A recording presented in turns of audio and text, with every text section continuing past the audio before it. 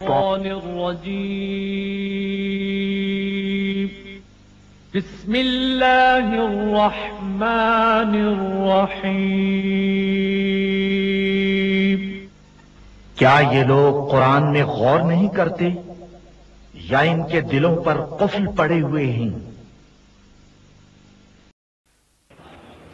آ، دعا کر لیں۔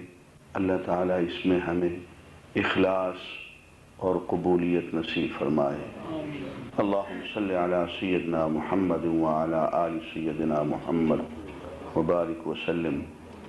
اللہم یسر ولا تعسر وتمم بالخیر۔ اللہم یسر ولا تعسر وتمم بالخیر۔ اللهم يسر ولا تعسر وتمم بالخير وصلى الله على حبيبه محمد وعلى آله وأصحابه أجمعين.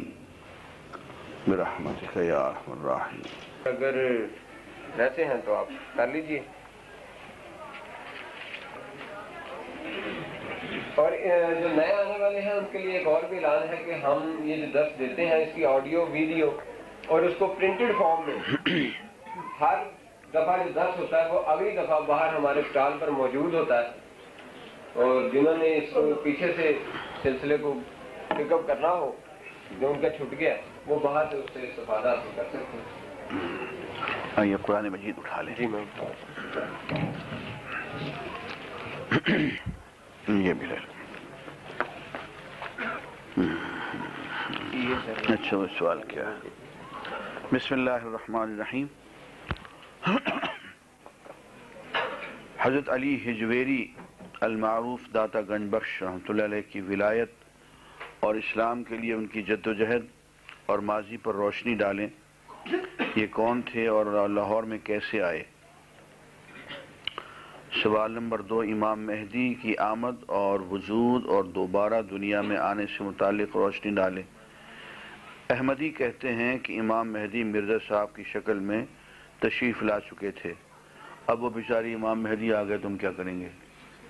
مسئلہ تو یہ اگر وہ سچ مچ آ گئے۔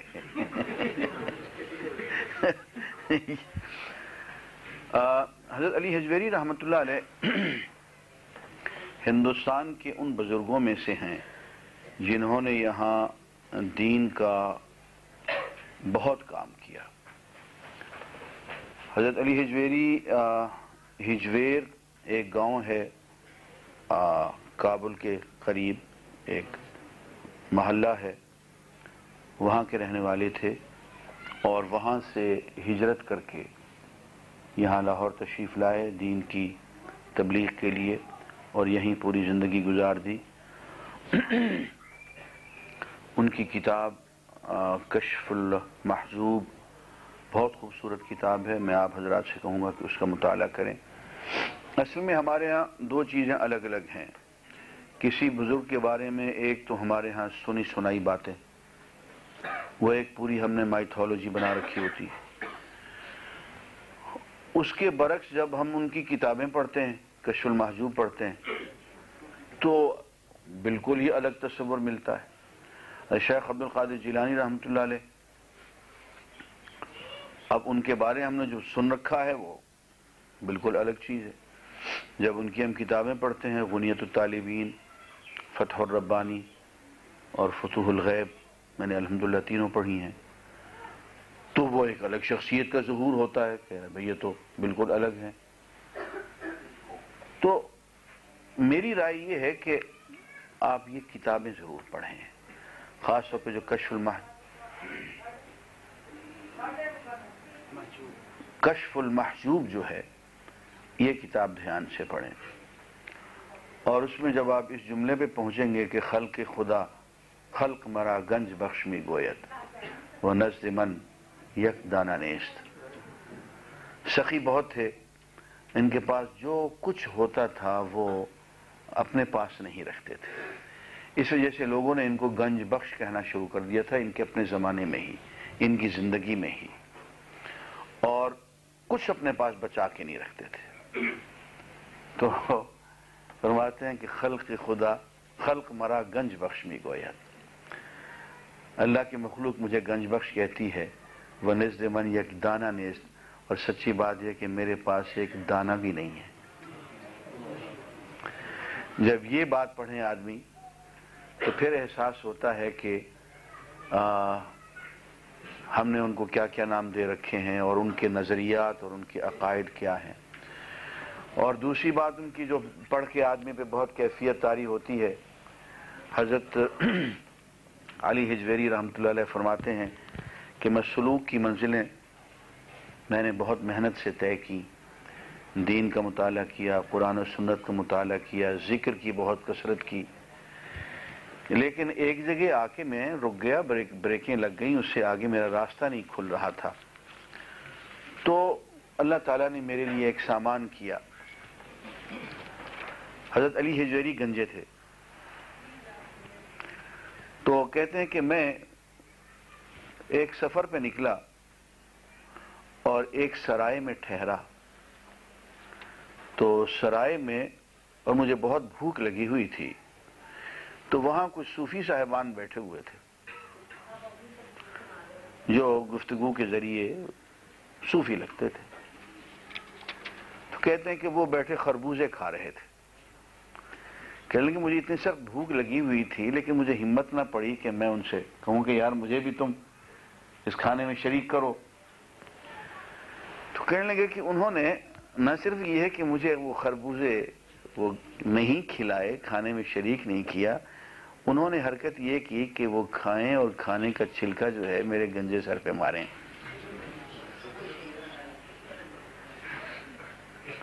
کہتے انہوں نے میری اس قدر دل آزاری کی۔ ایک مجھے بھوک اور دوسرا اس بھوک کا انہوں نے جواب یہ دیا کہ وہ کھا کے چھلکا میرے گنجے سر پہ مارے کہنے کہ اسی دوران اللہ تعالیٰ نے وہ راستے کی بندش کھول دی جو ایک عرصے سے مجھے تنگ کیے ہوئے تھی۔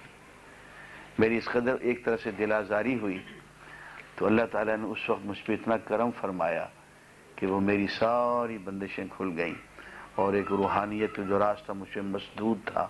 وہ اللہ نے میرے لیے کھول دیا۔ یہاں سے یہ بھی معلوم ہوا کہ کسی دوسرے کی طرف سے اگر دل آزاری ہو، اس پہ اگر صبر کیا جائے تو اللہ کی طرف سے ایک ترقی کا راستہ کھل جاتا۔ امام مہدی رحمۃ اللہ علیہ کے بارے میں یہ ہے کہ احادیث میں ہے کہ یہ ایک بہت بڑی شخصیت ہوں گی اور یہ دین کی تبلیغ کریں گے یہ۔ اور دین کو بہت سائنٹیفک انداز میں بیان کریں گے۔ اس انداز میں، جس انداز میں لوگوں کی سمجھ میں آ جائے۔ اور عسکری طور پہ اور فوجی طور پہ بھی یہ کفر کا مقابلہ کریں گے۔ اور انہی کے زمانے میں حضرت عیسیٰ علیہ السلام کا بھی ظہور ہوگا۔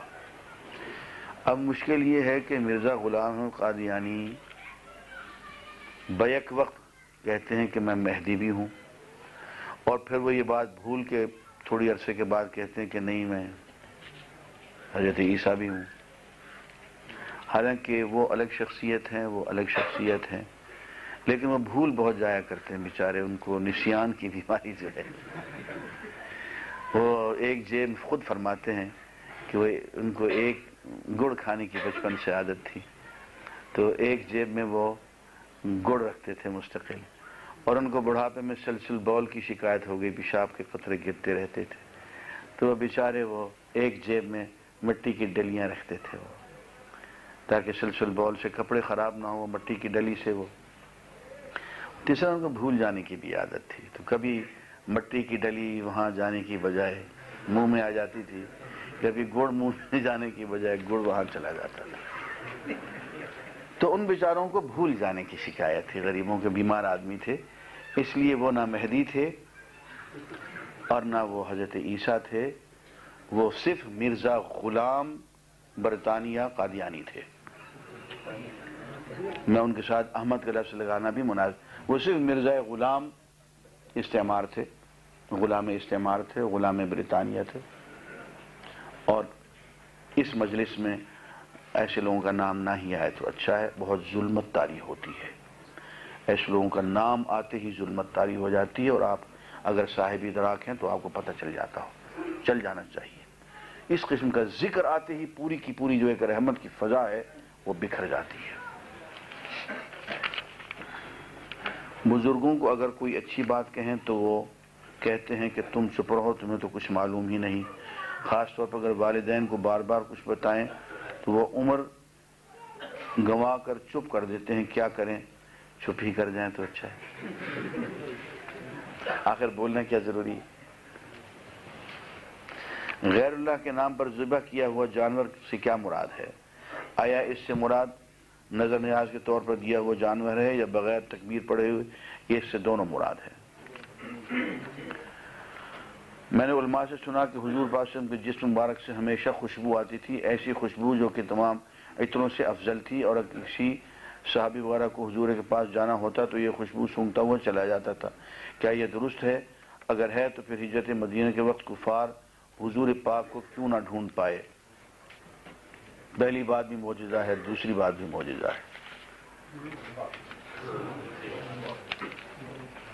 میں اپنی بیٹی کا رشتہ کر رہا ہوں، اس میں برکت اور دونوں جہان میں نیکی کی دعا کر دیں۔ اللہ مبارک لہما فی الخیر۔ اللہ مجمع بینہما فی کل خیر۔ میں ایک ایسے ادارے میں کام کرتا ہوں جہاں کا ماحول بہت خراب ہے۔ اکثر لوگ ایک دوسرے کی غیبت کرتے ہیں، رشوتانی عام ہے اور سارا دن فحش گفتگو ہوتی رہتی ہے، جس سے مجھے بہت اذیت ہوتی ہے۔ میں کئی دفعہ انہیں منع بھی کرتا ہوں، لیکن وہ بالکل نہیں باز آتے۔ آپ مہربانی فرما کر یہ بتا دیں کہ ان حالات میں مجھے کیا طریقہ اختیار کرنا چاہیے۔ بالکل علیحدگی رکھیں اور عین جس وقت کے فحش گوئی ہو رہی ہو، اس وقت خصوصی طور پہ اللہ کے ذکر میں مشغول ہو جائے۔ جو لوگ نعت رسول پاک پڑھنے والوں پر روپے نشاور کرتے ہیں اور قرآن پاک کی تلاوت کرنے والوں پر روپے پھینکتے ہیں، کیا یہ اسلام کی روح سے جائز ہے یا نہیں؟ جائز ہے، لیکن مجھ پہ روپے نہ پھینکیے گا۔ آپ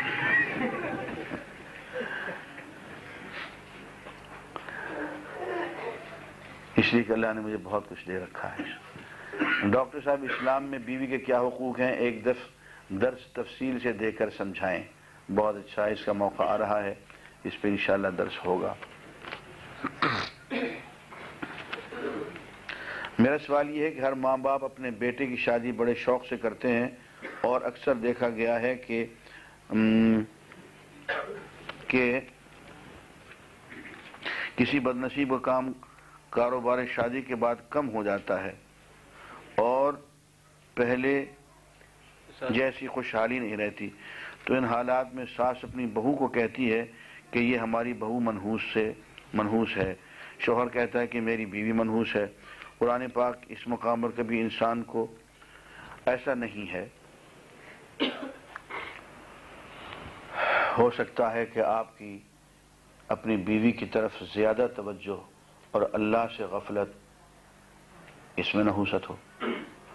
ہو سکتا ہے کہ آپ کی کوئی اور حرکت، ہو سکتا ہے کہ آپ کی والدہ صاحبہ کی یہ حقارت یہ منحوس ہو۔ یہ ڈھونڈنا کہ فلاں آدمی منحوس ہے، فلاں ش... یہ غلط بات ہے۔ ایسا کہنا جو ہے جائز نہیں ہے۔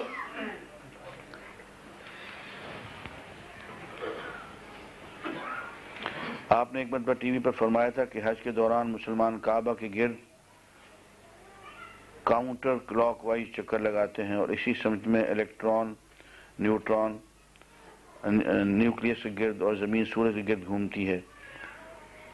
برائے مہربانی الیکٹران اور زمین کا سورج کے گرد گھومنا وضاحت سے بتائیں کیونکہ یہ مختلف طرف سے مختلف اطراف میں گھومتے ہیں۔ اصل میں میں نے یہ کہا تھا کہ یہ جو طواف کی سمت ہے، یہ دو چیزیں ہیں۔ ایک تو وہ بیزوی ہے، گول نہیں ہے، اوول ہے، انڈے کی شکل کی ہے۔ دوسرا اینٹی کلاک وائز ہے۔ اینٹی کلاک کی گھڑی تو یوں چلتی ہے نا، یہ کلاک وائز ہے۔ یہ اینٹی کلاک وائز ہے۔ گھڑی کی رخ کے برعکس، گھڑی کی سوئیوں کے حرکت کے رخ کے برعکس۔ میں نے اس میں یہ کہا کہ سورج کی حرکت اپنی گیلیکسیز میں، زمین کی حرکت سورج کے گرد، چاند کی حرکت زمین کے گرد الیکٹرانز پروٹونز کی اپنے نیوکلیس کے گرد، یہ جو حرکت ہے وہ اینٹی کلاک وائز بھی ہے اور اوول بھی ہے۔ اس سے میں نے یہ ثابت کرنے کی کوشش کی کہ یہ باتیں تو ہمیں بیسویں صدی میں معلوم ہوئی نا، الیکٹران، پروٹون کی حرکت، زمین کی حرکت، سورج کی حرکت، چاند کی گردش۔ لیکن یہ جو طواف کی گردش ہے، یہ تو چھ ہزار سال سے چل رہی ہے۔ تو سائنس کو تو اب پتہ چلا کہ فطری حرکت کیا ہوتی ہے۔ وہ وہ ذات جس نے کہ طواف کی حرکت فرض کی، پتہ چلتا ہے کہ وہ وہی ہے جس نے کہ نیوٹرون الیکٹران پروٹون کو پیدا کیا، سورج اور زمین اور چاند کو پیدا کیا اور ان کی حرکت بنائی۔ جی؟ بینک کی ملازمت کیسی ہے؟ یار ایسی ویسی ہے۔ کیا اس کی آمدنی حلال ہے؟ آمدنی تو کسی کی بھی حلال نہیں۔ اس کی خاص طور پہ حلال نہیں۔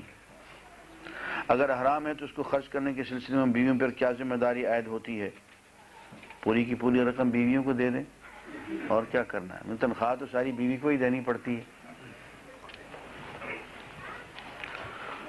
میری اہلیہ کینسر کی مریضہ ہیں، ان کی صحت یابی کے لیے دعا کریں۔ اللہ مشفہ شفا کاملا، عاجلا، لائفا۔ اللہ تعالیٰ تمام بیماروں کو شفا عطا فرما خواب کی تعبیر کسی عالم سے کروانا ٹھیک ہے یا نہیں؟ بالکل ٹھیک ہے جی عالم سے ہی کروانی چاہیے۔ کسی پیر سائی کے یہاں لے چلیں گے تو وہ لے ڈوبیں گے آپ کو۔ یہ کام علماء کے ہی ہیں۔ کچھ عرصہ قبل چند ایسے گناہ کر بیٹھا جن کے بارے میں علم تھا کہ یہ بڑے گناہ ہیں۔ توبہ بھی کی، معافی بھی مانگی، پھر بھی ندامت رہتی ہے، دل ملامت کرتا ہے۔ کیا کروں کہ دل کو سکون ہو؟ کثرت ذکر کریں۔ ندامت سے ندامت کو باقی رکھیں۔ اور اللہ کے حضور کثرت سے ذکر کریں اور اللہ سے توبہ اس یقین کے ساتھ کریں۔ کہ اللہ نے معاف کر دیا۔ اللہ تعالیٰ اپنے وعدے کو پورا کرتا ہے، وعدے کی خلاف ورزی نہیں کرتا۔ جب اللہ نے یہ وعدہ کیا ہے کہ توبہ کرنے والے کی توبہ وہ معاف کر دے گا، قبول کر لے گا اور گناہ معاف کر دے گا۔ تو اس کے وعدے پہ یقین رکھنا چاہیے۔ اس لیے توبہ اس شک کے ساتھ نہیں کرنی چاہیے کہ میں توبہ کر رہا ہوں، نہ جانے قبول ہو یا نہ ہو۔ اس یقین کے ساتھ کرنی چاہیے کہ میں جس کے حضور ہاتھ پھیلا رہا ہوں اور جس نے توبہ قبول کرنے کا وعدہ کیا ہے، وہ توبہ قبول کرے گا اور کر رہا ہے۔ شک سے نقصان ہوگا۔ پھر سکون کی کیفیت نہیں ہوگی اور عبادت ٹھیک ادا نہیں ہوگی۔ لوگ جو بینکوں میں حفاظت کر کے پیش نظر رقم رکھتے ہیں، اس پر پی ایل ایس کی رقم بینک دیتا ہے تو کیا وہ بھی سود ہے؟ یہ بالکل سود ہے۔ مولانا فتح الجالندری کے ترجمہ شدہ قرآن کے تفسیر میں تحریر ہے کہ یہ ربا وہ ہے جو اگر سود لینے والا سود واپس نہ کر سکے اور اس مزید ربا ہے یعنی سود پر سود وضاحت کریں ایسی کوئی بات نہیں۔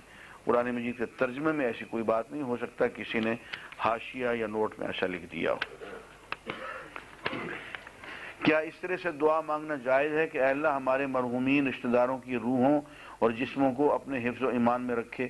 کوئی حرج نہیں۔ مانگی جا سکتی ہے۔ اسلام میں نئی تاریخ اور دن کس وقت تبدیل ہوتے ہیں اور کب ختم ہوتے ہیں؟ ہمارے ہاں دن ختم ہوتا ہے غروب آفتاب پہ۔ مغربی دنیا میں رات کے بارہ بجے دن کی تاریخ بدلتی ہے۔ ہمارے ہاں تاریخ بدلتی ہے غروب آفتاب کے ساتھ۔ یعنی ادھر غروب آفتاب ہوا اور نیا دن شروع ہو گیا۔ نئی تاریخ شروع ہو گئی۔ اس لیے مغرب کی نماز پہلی نماز ہے، عشاء کی دوسری اور فجر کی تیسری سلاۃ الوسطی۔ اور اسی لیے سلاۃ الوسطی کی سب سے زیادہ تاکید آئی ہے۔ مباشرت کے بعد اور پاک ہونے سے پہلے کیا ماں بچے کو دودھ پلا سکتی ہے؟ کہ ایسا کوئی حکم ہے جس میں یہ کہا گیا ہو کہ ایسی حالت میں دودھ پلانے سے بچے نافرمان ہو جاتے ہیں؟ ایسی کوئی بات نہیں پلا سکتے ہیں۔ لیکن جتنی جلدی ایسی اور حدیث ہے خواتین بیٹھی میں پڑھنا نہیں چاہ رہا۔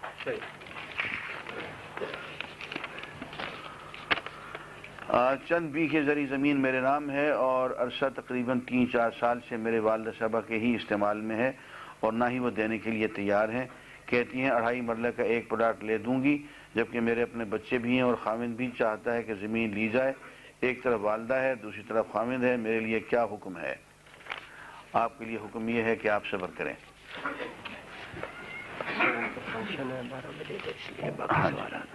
باقی بعد میں اگلے ہفتے کر لیں ایسا ہے کہ بارہ بجے یہ ہارڈ کا ایک فنکشن بھی ہے۔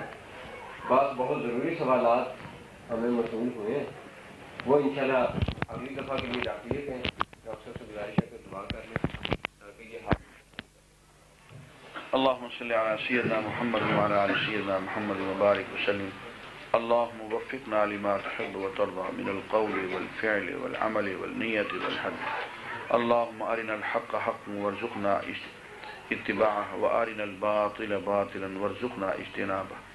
اے اللہ جو زندگی قرآن سے محرومی میں گزر گئی، اسے تو معاف فرما۔ اور آئندہ زندگی قرآن سے محرومی سے، اے اللہ ہم تیری پناہ میں آتے ہیں۔ ہمیں قرآن کا علم اور عمل نصیب فرما۔ کتمان حق کے جرم سے، اے اللہ ہمیں محفوظ فرما۔ قرآن کو سمجھ- سمجھنے، سمجھانے کی، پڑھنے، پڑھانے کی، اس پہ عمل کرنے اور عمل کرانے کی۔ اور اس کی تعلیمات کو نافذ کرنے کی توفیق نصیب فرما۔ صلی اللہ علیہ حبیب محمد۔ اے اللہ، وہ لوگ جو اس اجتماع کے سلسلے میں ہماری قرآن کی خدمت کر رہے ہیں، یہ حال جناب میاں عبد الوحید صاحب مفت دیتے ہیں اور اس طرح سے جناب فتح اللہ خان صاحب ہیں، کلیم اللہ بیٹے ہیں، یہ سب لوگ جو اس کام میں بہت فعالیت اور بہت محنت سے یہ کام کر رہے ہیں۔ اے اللہ، تو انہیں اپنے راستے میں قبول فرما۔ اے اللہ، انہیں اپنے راستے میں قبول فرما اور انہیں مزید توفیق ارزانی فرما۔ اے اللہ، زندگی اب پتہ نہیں کتنی رہ گئی ہے، زندگی کے ہر سانس کو اے اللہ تو اپنے راستے میں قبول فرما، اپنی راہ میں جینا اور اپنی راہ میں مرنا نصیب فرما۔ صلی اللہ علیہ حبیب محمد وعلی آلہ وسلم۔ برحمتک یا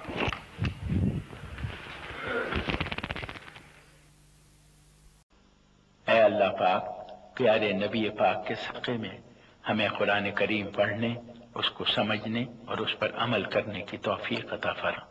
اے اللہ پاک، پاکستان کو اپنے حفظ و امان میں رکھ اور اس کی حفاظت فرما۔ اور ہمارے والدین، اہل و عیال اور تمام مسلمان مردوں اور عورتوں کو بخش دے۔ آمین۔